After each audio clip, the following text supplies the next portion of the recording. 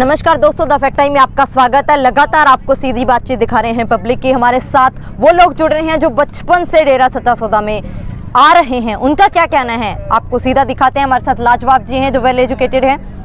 लाजवाब जी the fact time में आपका स्वागत है। Thank you, सर क्वालिफिकेशन क्या है आपकी? मैं मास्टर फाइनल ईयर में हूँ जी। सर डेरा सच्चा सौदा में आप बचपन से आ रहे हो? हाँ जी बचपन से आ रहे हैं। कैसा इन्वायरमेंट सर आपको लगता है डेरा सच्चा बहुत अच्छा जी बहुत अच्छा। आप हम बाहर देखते हैं बहुत ही बुरा हाल है ना?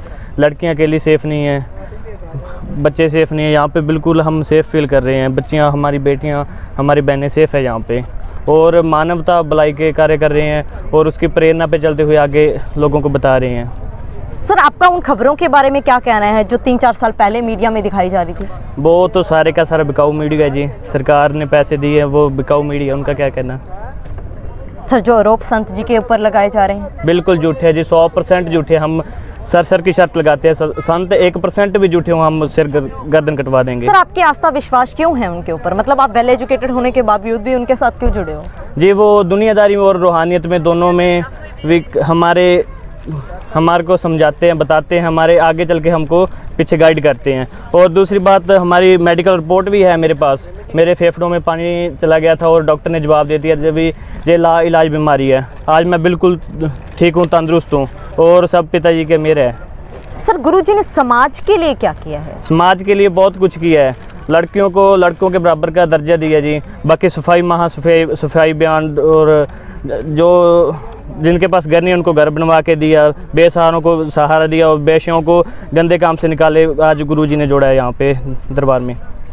सर आज ज़रूरत है उनकी बहुत बहुत ज़रूरत है जी बहुत ज़रूरत है। सभी सम, समाज को ज़रूरत है जी। प्रभाव क्या पड़ा है सर तीन चार सालों से जब से संत जी समाज में नहीं है? बहुत प्रभाव पड़ा जी क्योंकि बुराई के नुमाइंदे नुमाइंदे ने जो भी करवाया है वो उनका बहुत फ़र्क पड़ा है। और जो भी ए टू जेड आप सभी गलत बताया गया मीडिया में बकाऊ मीडिया है जी। हम पूरी गारंटी लेते हैं। एक बार आप यहाँ पे आओ, देखो, कुछ भी आपको गलत नहीं मिलेगा। गलत मैसेज नहीं मिलेगा। यहाँ पर बिल्कुल लड़कियाँ सेफ़ है। हमारी बहनें यहाँ पे आती है, हमारी माता और बहनें भी अभी आई हुई हैं मेरे साथ। सर, क्या बताना चाहोगे आप उन लोगों के जिन, जिन्होंने मीडिया के द्व- द्वारा गुरुजी को देखा? क्योंकि उनके दिमाग में एक अलग सोच है अलग फोबिया है। आप अपने वीडियो के द्वारा क्या संदेश देना चाहोगे? हम यही संदेश देना चाहते हैं, आप आओ और गुरुजी के लिए, गुरुजी के चरणों से जुड़ो। क्योंकि यहाँ पे रूहानियत के अलावा आप दुनियादारी में भी बहुत कुछ सीखने को मिलेगा। और बेरोजगारों को रोज़गार दिया, बेसहारा को सहारा दिया और बेशियों वर्तियों में डूबी हुई लड़कियों को यहाँ पे गुरुजी ने अपनी बेटी बना के, उनका रहन बसेरा बना के उनको अपने चरणों में जोड़ा जी क्या अपील करना चाहोगे सर सरकार से? हम सरकार से यही अपील करना चाहते हैं आज समाज को बहुत गुरु जी की बहुत ही ज़रूरत है बहुत ही ज़्यादा ज़रूरत है।